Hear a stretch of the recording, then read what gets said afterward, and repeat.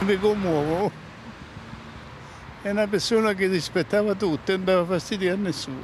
Un libro lo accettava, ma per il resto null'altro. Era una persona squisita, lui non si approfittava di niente, qui comprava i libri, tante volte gli dicevo prendilo, poi me lo riporti, no? Invece lui niente, pagava tutto, faceva un pochino di sconto, sì, senz'altro, però una persona proprio buona, mi aiutava la sera a tirare giù le serande, eh, sempre si prestava molto, sì. stava sempre a cantare, cantava tutto il pomeriggio. Dormiva qui, noi gli, offri- gli offrivamo gentilmente il giaciglio qua sotto al nostro bar.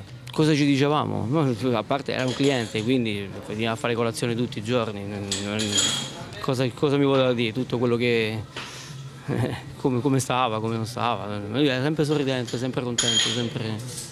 Lui tutti i giorni leggeva. Lui tutti, tutti, tutti, tutti i giorni, era molto colto, Comunque una persona dal cuore grande. Molto grande. Se poteva aiutare qualcuno aiutava. È brutto. Questa non è più una città come la conoscevo io tanti anni fa.